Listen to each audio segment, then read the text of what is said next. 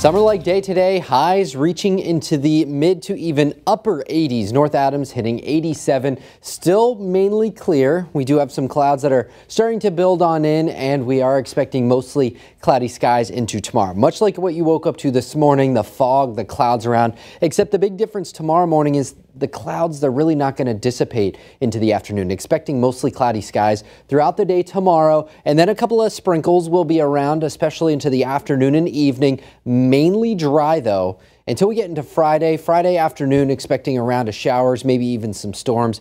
Uh, starting out at least the day dry on Friday. So look at your seven day forecast. After our hour by hour forecast, we dip down into the 60s, finally bottoming out right in the middle 60s. We're back into the low 80s, upper 70s over the next three days. Chance for storms Friday night into Saturday morning and then clear as you go into the second half of Saturday and into next week.